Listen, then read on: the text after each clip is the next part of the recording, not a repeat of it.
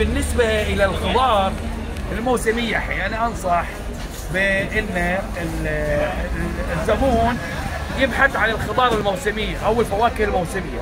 الحين الحمضيات مثل الأفندي مثل الأبو صرة المصري السوري. يقدر الحين هذا أفضل حاجة مو مخزن بيكون الأسعار يعني آه، زهيدة أو متداولة بين الكاستمر. عندك مثلا الفراولة الحين تقدر تأخذ فراولة الجوافة.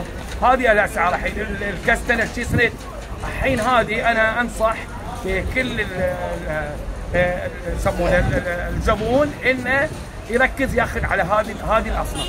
هي هذه الحين الأصناف الموسمية. مو مخزنة ولا إن هي أيضا أسعارها مرتفعة. دائما تصير أسعارها متداولة.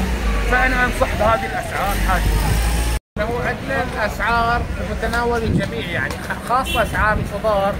لأن الحين موسم الخضار. عندك اللي هو الخضار الأردنية وصلنا وأسعارها متناول الجميع. عندك الأسعار اسعار السعودي بعد الخضار السعودية بتجي لنا.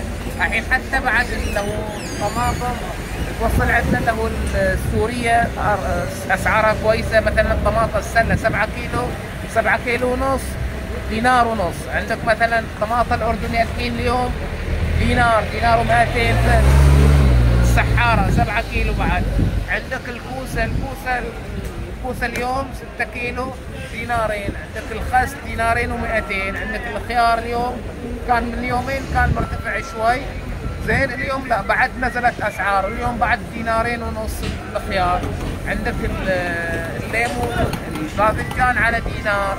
عندك آه، مثلا الكلمنتينه من الفواكه الكلمنتينه أسعارها بعد كويسه اليوم أسعار الكلمنتينه 15 ريال. لو دينار ونص السبعة كيلو إلى دينار 700 7 كيلو. 6 آه، كيلو ل 7 كيلو. البرتقال أسعاره دينارين اثنين دينارين و200 برتقال المصري. في بعد برتقال سوري بيبيعوا بأقل. دينار 700 عندنا لو الجوافه الربطة دينار 700 يعني الكارتون يمكن يطلع إلى 8 8 ريال 9 ريال. هاي الأسعار العامة. مثلا عندنا شنو بعد أسعار؟ مثلا الليمون أسعار متناول الجميع عندك بعد شنو من اسعار هاي الأسعار الموجوده البطاطا البصل أسعارها بعد ناس البطاطا 20 كيلو اليمنية ب 40 10 كيلو بدينارين عندك اللي هو البصل بعد 30 كيلو البصل اليمني ينباع في السوق ب 40 ب 4 دينار. عندنا البرتقال قلنا بعد شو عندنا. اي هاي الفراولة اليوم الفراولة دينارين ونص دينارين و700 دينار 800 الكارتون مع الضريبة بالضريبة يمكن يصير دينارين و900